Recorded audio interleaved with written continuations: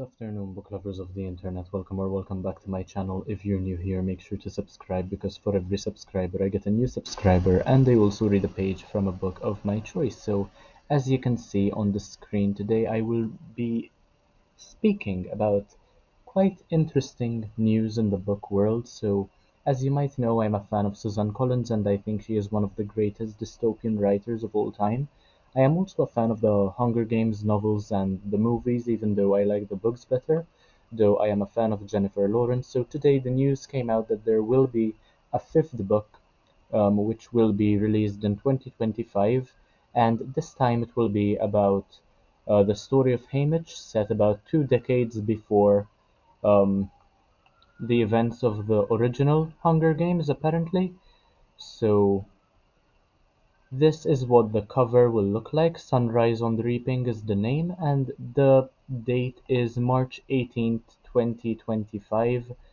So I can definitely say that I am looking forward to this new release, even though I haven't yet read The Ballad of Songbirds and Snakes, um, because I'm not particularly interested in President Snow.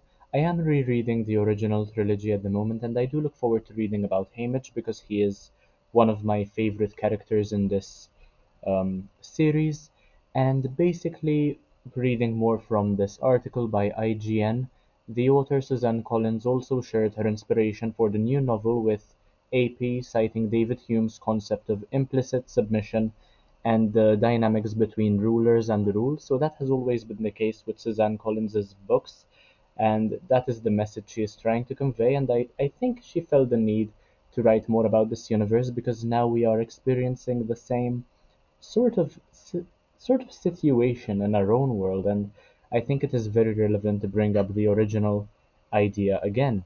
So yeah, needless to say, I will definitely be buying, reading, and reviewing this. I am not sure if it will be adapted into a movie eventually, although it might because of its predecessors, which were all made into movies as well.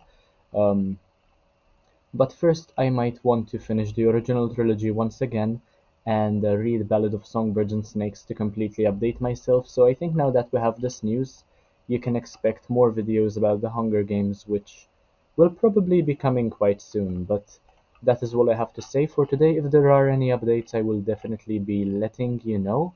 Um, I've been following Suzanne Collins for a very long time. I was one of the OG Suzanne Collins readers. I mean, when, when I first heard of her, I immediately bought The Hunger Games, Catching Fire, and Mockingjay and yeah i'm still a fan to this day. So let me know what you think of this video what you think of this news. And leave a comment letting me know whether you will be buying this whether you're interested in starting the series at all or something to that degree. But anyway thank you so much for watching. Make sure to check out the rest of my content like comment share subscribe. And i'll see you in the next one hopefully very very soon. Bye guys